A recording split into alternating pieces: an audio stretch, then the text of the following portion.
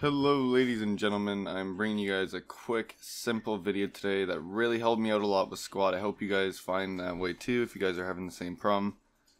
Uh, this video is going to be how to fix or maybe just prevent um, the kernel error for squad when you're playing and you just get random crashes in game. Uh, this was happening to me a lot. I found that it would happen at random times. Like say a grenade gets thrown off in the room next to me, it would blow up and create like a like a graphic spike, I guess you could call it, call it. And that's kind of why this problem's happening with most people, and I'll show you why in a second. But uh, in order to fix that, you're gonna want to go to Control Panel. Uh, what fucking was it again? Uh, system and Security power options, and then you want to go to change plan settings, change advanced settings. Oh, fuck me. Uh, coming down to PCI Express, link state power management, and set that to off. This used to be set to off on earlier um, NVIDIA and GeForce drivers. But with the recent ones, they've been turning this on for like moderate or high. Now, what this does, well, not does, but um, what happens is that freaking uh, in game, why that why we get this error in game, say is like a lot of stuff's going on around us, and then you get an RPG shot at you right next to you, and it blows up at your feet. Now that is creating, uh, it's spiking the GPU. Now this link link state power management kind of monitors the GPU and when this is set to moderate or high it was causing an error where it would deny the GPU to like have the extra required force that it needs in order to play the game and it was causing a driver error which would then crash the game to the desktop and throw us the UE4 fucking um, crash. You do not have the proper call stack to view whatever. It just throws us this weird crash every 10 15 minutes in the game and it was getting really annoying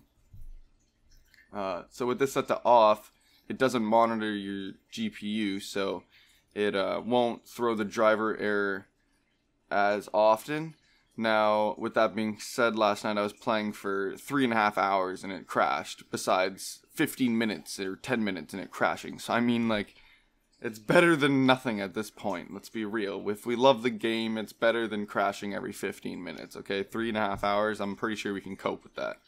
I was pretty ecstatic at that. I'm not gonna lie.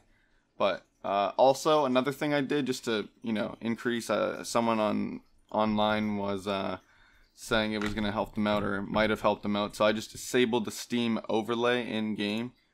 And to do that, you just go to settings interface and uh, where was it or sorry in game enable the steam overlay while in game and uncheck that that usually is checked uncheck that and after that guys uh, it should work although this probably won't work for everybody like most things but it'll work for the majority I know that sounds harsh but who knows some of you guys might have different problems but for people with older spec PCs that can still play games at like high quality.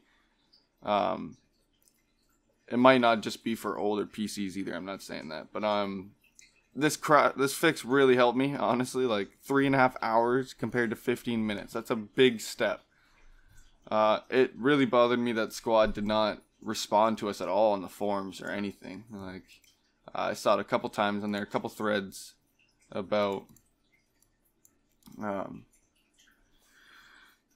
the uh, bug that we were having, and they did not respond at all. So I was quite surprised. But uh, yeah, this is how you guys fix the squad uh, kernel error glitch or not glitch bug. Um, I hope you guys enjoy. If you guys find that it works for you, please click the like and uh, thumbs up. Thanks.